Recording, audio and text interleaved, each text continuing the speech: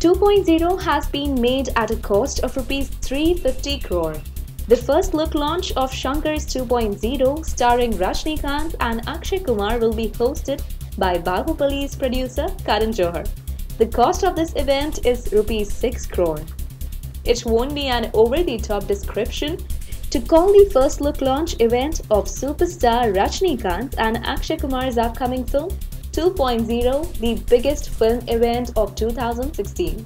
Like the budget of Shankar's film, which is more than rupees 350 crore, the event has also been planned on a grand scale.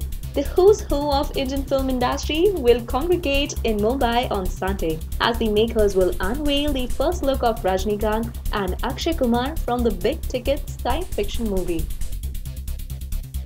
So, what do you feel on the story? Leave your comments below. And for more Bollywood updates, subscribe our channel Bollywood Inside Out.